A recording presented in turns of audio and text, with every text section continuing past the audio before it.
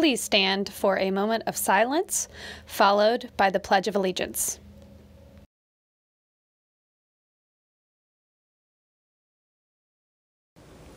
I pledge allegiance to the flag of the United States of America and to the republic for which it stands, one nation, under God, indivisible, with liberty and justice for all.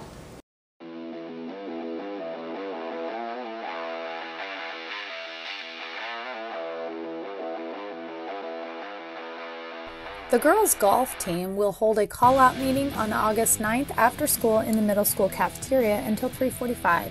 Parents are welcome to attend and should enter at door 13. Tryouts will be August 11th, 12th, and 13th at Southern Dunes Golf Course from 4:30 to 6 p.m. We are excited to announce the return of our students to sporting events for the 21-22 school year. The 7th and 8th grade Cardinals kick off the 2021 football season as they travel to Perry Meridian High School for a doubleheader versus the Falcons. Games begin at 5:30 p.m. All tickets this school year are $5 for students and must be purchased through our digital ticketing system. The link can be found on the school website under the Athletics tab. The ticket must be redeemed at the door or gate in order to enter. No cash tickets will be sold. We hope to see everyone at Perry Meridian High School next Thursday evening cheering on your Cardinals.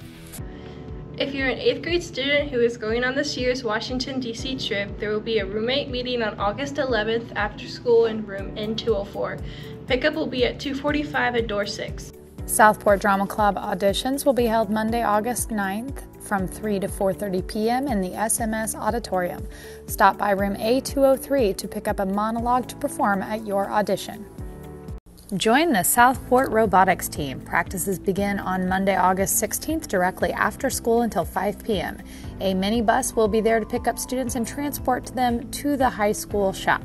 There will be a brief parent meeting at Southport High School at 4:45 in room 115 directly after the practice.